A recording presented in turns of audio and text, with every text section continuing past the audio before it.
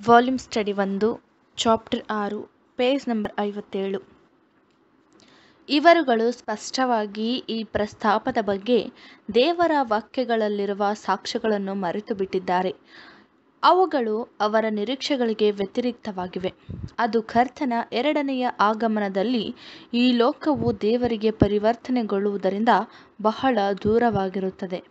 ಕಡೇ ದಿವಸಗಳಲ್ಲಿ ಕಠಿಣ ಕಾಲಗಳು ಬರುವವೆಂಬುದನ್ನು ತಿಳಿದುಕೋ.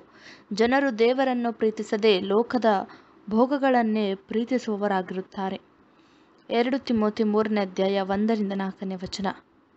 ದುಷ್ಟರು, ವಂಚಕರು, ಇತರರುಗಳನ್ನು ಮೋಸ ಮಾಡುತ್ತಾ ತಾವೇ ಮೋಸ ಹೋಗುತ್ತಾ ಹೆಚ್ಚಾದ ಕೆಟ್ಟತನಕ್ಕೆ ಹೋಗುವರು. ಎರಡು ತಿಮೋತಿ ಮೂರನೇ ಅಧ್ಯಾಯ ಹದಿಮೂರನೇ ವಚನ. ಅವರು, ದೇವರು ಚಿಕ್ಕ ಹಿಂಡಿಗೆ ನೀಡಿದ ನಿಮ್ಮ ವಿಷಯದಲ್ಲಿ ಜಾಗರೂಕರಾಗಿರ್ರಿ. ಆ ದಿವಸವು ಉರ್ಲಿನಂತೆ ಪಕ್ಕನೆ ಬಂದಿತು. ಆ ದಿವಸವು ಭೂನಿವಾಸಿಗಳೆಲ್ಲರ ಜಾಗರೂಕರವಲ್ಲದವರ ಮೇಲೆ ಬರುವುದು. ಲೂಕ ಇಪ್ಪತ್ತೊಂದನೇ ಅಧ್ಯಾಯ ಮೂವತ್ನಾಲ್ಕರಿಂದ ಮೂವತ್ತೈದನೇ ವಚನ. ಎಂಬ ಇತ್ಯಾದಿ ಎಚ್ಚರಿಕೆ ಮಾತುಗಳನ್ನು ಮರೆತು ಹೋಗುತ್ತಾರೆ. ಪುನಃ ನಮಗೆ ಖಚಿತವಾದ ಭರವಸೆ ಎಂದರೆ ಆತನು ಬರುವುದನ್ನು ಕಾಣುವಾಗ ಭೂಮಿಯಲ್ಲಿರುವ ಎಲ್ಲ ಕುಲಗಳವರು ಆತನನ್ನು ನೋಡಿ ಎದೆ ಬಳೆದುಕೊಳ್ಳುವರು. ಪ್ರಕಟಣೆ ಒಂದನೇ ಅಧ್ಯಾಯ ಏಳನೇ ವಚನ. ಎಂದು ಹೇಳುವಾಗ ಪಾಪಿಗಳ ಪರಿವರ್ತನೆಯ ಬಗ್ಗೆ ಏನನ್ನು ಉಲ್ಲೇಖಿಸಿರುವುದಿಲ್ಲ. ಎಲ್ಲ ಜನರು ಪಾಪಿಗಳು ಪರಿವರ್ತನೆಯನ್ನು ಹೊಂದಿರುವುದನ್ನು ನೋಡಿ ಗೋಳಾಡುತ್ತಾರೆಯೋ? ಇದಕ್ಕೆ ವ್ಯತಿರಿಕ್ತವಾಗಿ ಈ ಪರಿಚ್ಛೇದವು ಬಹುಮಟ್ಟಿಗೆ ಎಲ್ಲರೂ ಒಪ್ಪಿಕೊಳ್ಳುವಂತೆ ಲೋಕದ ಮೇಲೆ ಕ್ರಿಸ್ತನ ಪ್ರತ್ಯಕ್ಷತೆಯಾಗಿದೆ. ಲೋಕದಲ್ಲಿರುವವರೆಲ್ಲರೂ ಆತನ ಪ್ರತ್ಯಕ್ಷತೆಯನ್ನು ಪ್ರೀತಿಸುವುದಿಲ್ಲ. ಎಲ್ಲರೂ ಪರಿವರ್ತನೆ ಹೊಂದಿದ್ದಾರೆ. ನಿಶ್ಚಯವಾಗಿ ಅವರು ಹಾಗೆ ಮಾಡುತ್ತಿದ್ದರು ಎಂಬುದನ್ನು ನಮಗೆ ಕಲಿಸಿಕೊಡುತ್ತದೆ. ಕೆಲವರು ಕರ್ತನ ನಿಜವಾದ ಪ್ರತ್ಯಕ್ಷತೆಯನ್ನು ನಿರೀಕ್ಷಿಸುತ್ತಾರೆ, ಆದರೆ ಈ ಘಟನೆಯ ಸಮಯವನ್ನು ಬಹಳ ದೂರಕ್ಕೆ ನಿಶ್ಚಯಿಸುತ್ತಾರೆ ಮತ್ತು ಪ್ರಸ್ತುತ ಪರಿಸ್ಥಿತಿಯಲ್ಲಿ ಸಭೆಯ ಪ್ರಯತ್ನಗಳ ಮೂಲಕ ಈ ಪ್ರಪಂಚವು ಪರಿವರ್ತನೆ ಹೊಂದಿಕೊಳ್ಳಬೇಕು. ಆ ರೀತಿಯಲ್ಲಿ ಸಹಸ್ರಮಾನ ಯುಗವು ಪರಿಚಯಗೊಳ್ಳಬೇಕು ಎಂದು ಹೇಳಿಕೆಗೆ ನೀಡುತ್ತಾರೆ. ಪ್ರಪಂಚವು ಪರಿವರ್ತನೆಗೊಳ್ಳುವಾಗ ಸೈತಾನನು ಬಂಧಿತನಾದಾಗ ಕರ್ತನ ಜ್ಞಾನವು ಭೂಲೋಕವೆಲ್ಲ ತುಂಬಿಕೊಳ್ಳುತ್ತದೆ. ದೇಶದ, ದೇಶಗಳವರು ಇನ್ನು ಮೇಲೆ ಯುದ್ಧಾಭ್ಯಾಸವು ನಡೆಯದಿದ್ದಾಗ ಸಭೆಯ ಕಾರ್ಯವು ಅದರ ಪ್ರಸ್ತುತ ಸ್ಥಿತಿಯಲ್ಲಿ ಮುಕ್ತಾಯಗೊಳ್ಳುತ್ತದೆ. ಆಕೆಯು ಈ ದೊಡ್ಡ ಮತ್ತು ಕಷ್ಟಕರ ಕಾರ್ಯವನ್ನು ನೆರವೇರಿಸಿದಾಗ ಕರ್ತನು ಲೌಕಿಕ ವ್ಯವಹಾರಗಳನ್ನು ಮುಗಿಸಲು, ವಿಶ್ವಾಸಿಗಳಿಗೆ ಪ್ರತಿಫಲ ಕೊಡಲು ಮತ್ತು ಪಾಪಿಗಳನ್ನು ಖಂಡಿಸಲು ಬರುತ್ತಾನೆಂದು ಹೇಳುತ್ತಾರೆ. ಕೆಲವು ಪರಿಶುದ್ಧ ಗ್ರಂಥಗಳನ್ನು ಬೇರ್ಪಡಿಸಿ ತೆಗೆದುಕೊಂಡಾಗ ಈ ದೃಷ್ಟಿಕೋನವು ಸರಿಯಾಗಿರಬಹುದೆಂದು ತೋರಿ ಬರುತ್ತದೆ.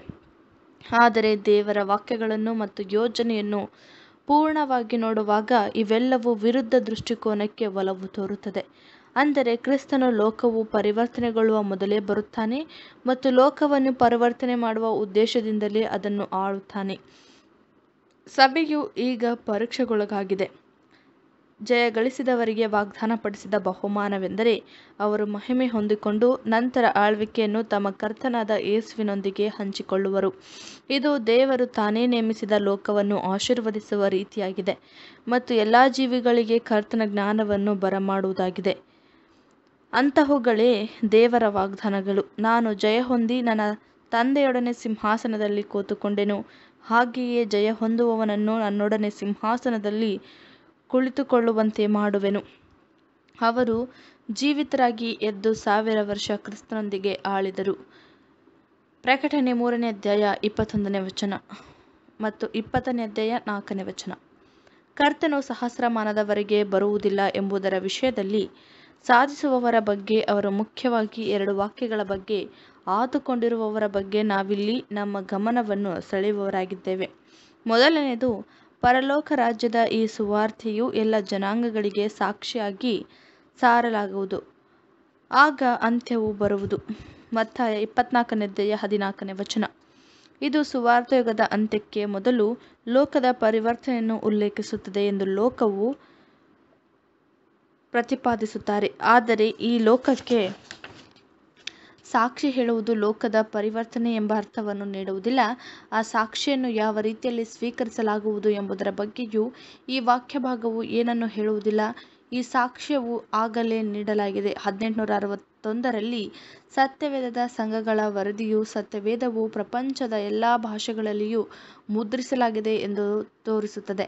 ಆದಾಗ್ಯೂ ಲೋಕದ ಮಿಲಿಯಾಂತರ ಜನರು ಅದನ್ನು ಸ್ವೀಕರಿಸಲಿಲ್ಲ.